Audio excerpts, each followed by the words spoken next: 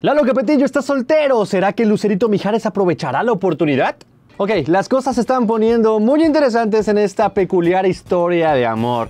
Yo sé, yo sé, táchenme de loco, pero cuando el río suena es porque agua lleva y ya van varias ocasiones que la gente está insinuando que Eduardo Capetillo Jr. y Lucerito Mijares están teniendo algo juntos. Y no estamos hablando solamente de la relación de amistad que ya todo el mundo conoce, que todo el mundo dice, sí, es que somos amigos, nos llevamos muy bien y charalá, charalá, charalá.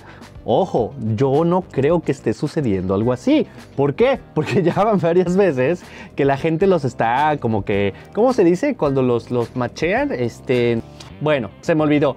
El caso es que ha salido una nueva nota en la cual ya están anunciando que el pequeño Eduardo, que bueno, pues nada de pequeño, ¿no? Decimos pequeño porque es Eduardo Capetillo Jr., pero ya está soltero. Él anteriormente sabíamos que tiene una novia, que lo vieron en conciertos y shalala, shalala, pero él acaba de anunciar que ya no tiene novia y que está soltero. Y enseguida la gente le está diciendo y le está echando porras a Lucerito Mijares de que es su momento de brillar, de que ya es momento, ya está libre el caballero y ella pues está ahí todo el tiempo pegada como, como buena amiga que es y la gente le está diciendo Lucerito, aplícate mija, aplícate, ya, es hora, no se te voy a ir.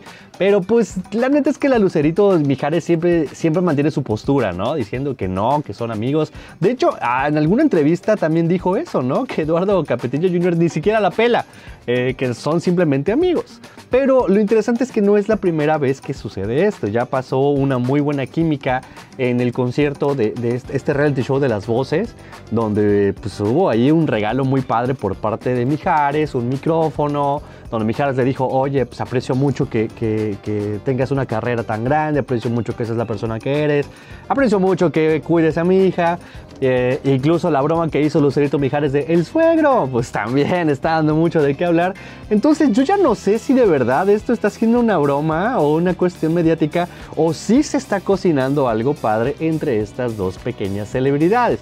Y digo pequeñas celebridades porque sus padres son los grandes, no estamos hablando de Eduardo Capetillo y Vivi Gaitán con respecto a Eduardo Capetillo Jr. y a Mijares y Lucero con respecto a Lucerito Mijares. Digo, estos, estas personas han tenido una gran carrera y por eso sus hijos también están siendo objeto de mucho ojo al momento de estar generando todas estas especulaciones.